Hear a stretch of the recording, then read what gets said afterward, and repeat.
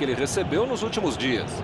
Claro que a gente tem que ter paciência, eh, o trabalho não é fácil, a pressão é enorme, a gente corneta mesmo, a gente tem que cornetar mesmo. Dessa vez ele não foi bem.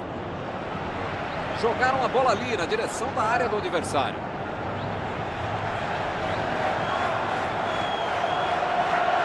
Procurando opções para o passe. Belo controle de bola. Lá vem ela por cima. Ele chega para fazer o corte. A batida! O toque, gol!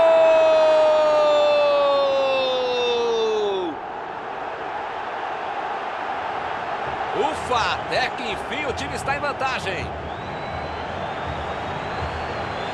Um gol com muito estilo, golaço. Podia ter o goleiro, a mãe dele, o cachorro, o presidente do clube. Qualquer um não tinha como pegar essa bola. Que categoria, que frieza para finalizar desse jeito.